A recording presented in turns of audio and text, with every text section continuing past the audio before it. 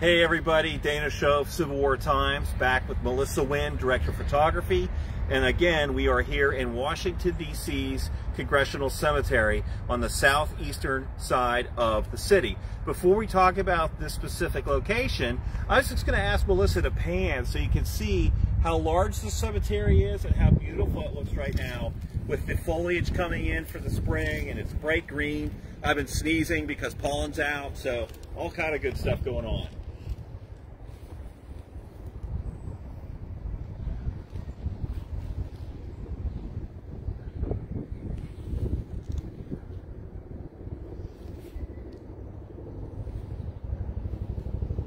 So that gives you a sense. This is a large cemetery, large cemetery.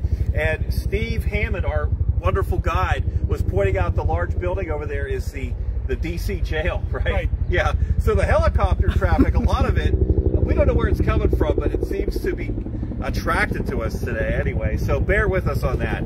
But before we talk about this location, Steve, your uh, name tag says you're a member of the Sons of the Union Veterans of the Civil War. We talked about his ancestor, Max Einstein, founded the 27th Pennsylvania Infantry. So what, what's your role with the Sons of Union Veterans? I was a past department commander, meaning I ran everyone in Maryland, Virginia, and District of Columbia. And so I was department commander there. And we have, we didn't this year, but we have national meetings where we all, all get together mm -hmm. and talk about issues. But um, Fantastic. So if you have, if you're descended from a Union veteran, that's something you could look into. There's oh, a, yeah, web, absolutely. a website and everything? Yes.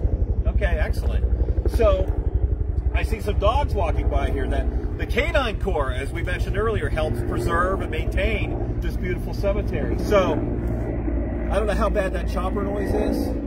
But Nobody's anyway, saying anything. We are at the grave of Mathew Now, of course, his name is going to be familiar to all of you because he is a noted photographer that was actually taking portraits before the Civil War of notable Americans, and of course, gained even greater fame for his role during the Civil War. Now, Steve's going to talk a little bit about it, but you can see where people have come here and left little cameras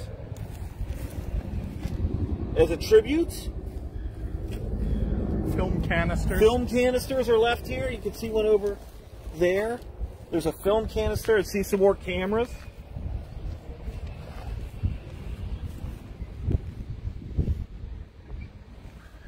So, couple things here, right?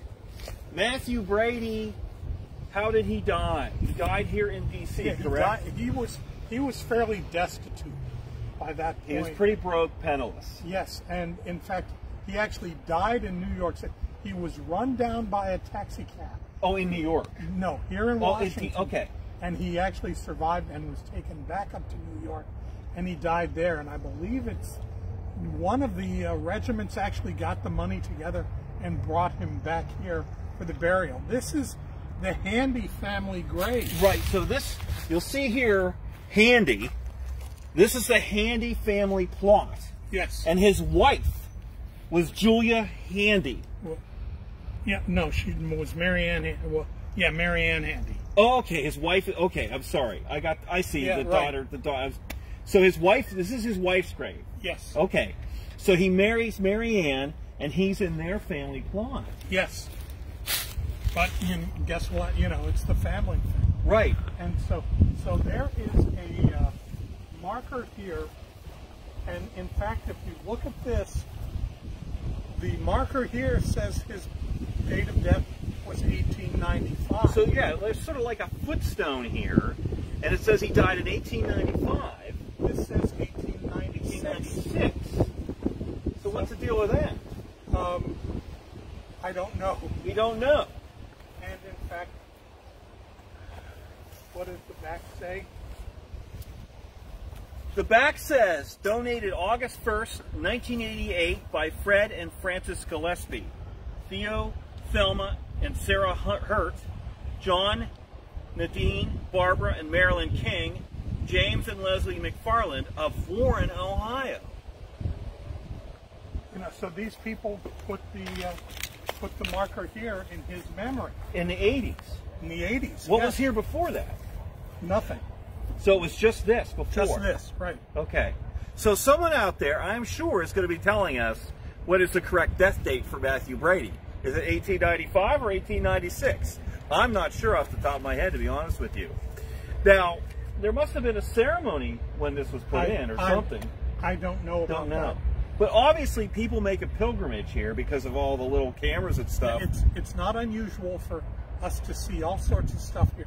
And in fact, one time I had a, a, a girl who said to me, "Can you show me where Brady is buried?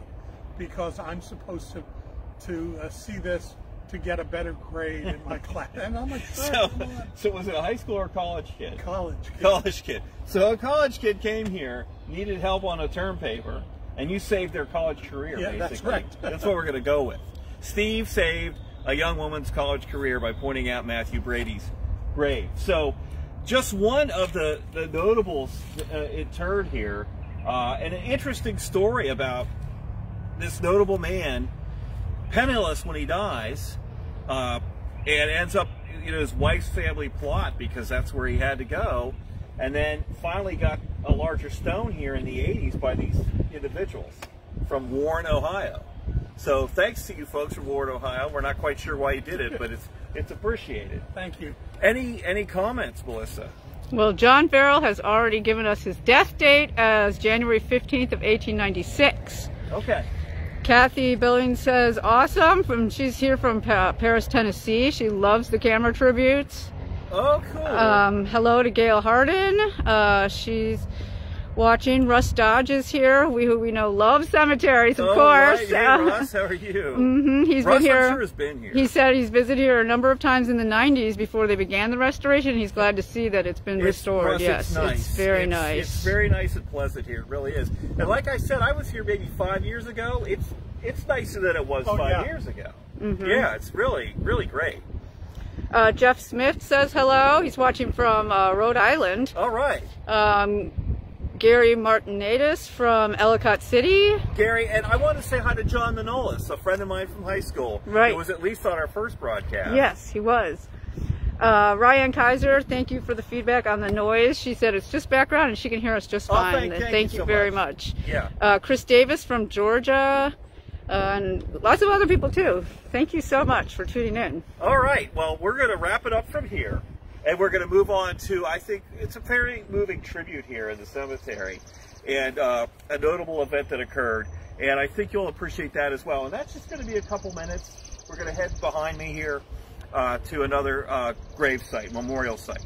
So until then, this is Dana Shoaf, Steve Hammond, and Melissa Winn signing off from the grave of Mathew Brady, notable Mathew Brady, here at Congressional Cemetery in Southeast Washington, D.C.